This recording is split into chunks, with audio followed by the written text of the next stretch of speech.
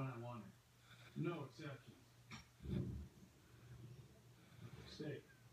That's why I use the Faster mobile app from Fifth Third Bank. It lets me check my balance